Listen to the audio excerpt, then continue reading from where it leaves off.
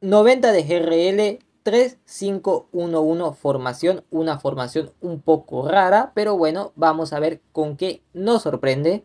Cobel, bien, llega a unas stats impresionantes, pero hermano, le falta poner esos puntos de habilidad. Marquinhos, bien, pero le faltan rangos. Lauren Brand también es bueno, pero le faltan rangos. Córdoba, decente, pero hermano, igual, le faltan rangos. Ay, ay, ay, aquí comenzamos mal, hermano. Ese psico no va ahí. Le quita demasiado GRL, hermano, consíguete un MI. Ay, ay, ay, hermano, ese Zambrota es lateral. ¿Qué hace de MCD? Bellingham, bien, rinde, pero le faltan rangos. Ay, ay, ay, hermano, ese Mascherano, ¿qué hace ahí? ¿Qué hace ahí?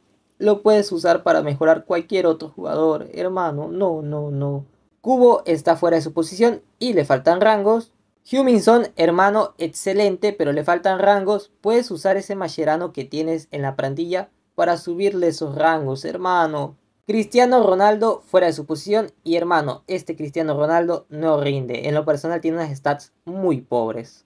Primero te recomiendo cambiar de formación y si no quieres cambiar, hermano, lo segundo que te puedo recomendar es que consigas jugadores que vayan en su posición. ¿Por qué? Porque si no le quita GRL a los jugadores y eso también baja el GRL de la plantilla. Aparte de eso, tienes jugadores que honestamente no rinden para nada. Ese Zambrota no rinde. Ese Mascherano lo deberías usar para mejorar otro jugador.